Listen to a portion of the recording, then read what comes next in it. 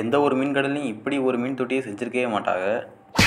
நம்ம மீன் கடைக்கு ஒரு சின்ன ப்ரோ இந்த மீன் தொட்டியை தூக்கிட்டு வந்தார். கொண்டு வரும்போது பாட்டம் கிளாஸ் இல்லை அப்படின்னு சொல்லிட்டு ஃப்ரிட்ஜ் பாக்ஸில் உள்ள ஒரு கண்ணாடியையும் சேர்த்து தூக்கிட்டு வந்தார். பாட்டம் கிளாஸ்னால் என்னென்னா மீன் தொட்டிக்கு கீழே ஒரு கண்ணாடி இருக்கும். ஸோ அது பேர் தான் பாட்டம் கிளாஸ் இவர் வச்சிருந்த இந்த சின்ன தொட்டியில் பாட்டம் கிளாஸ் ஆக்சுவலாக நொறுங்கிருச்சு.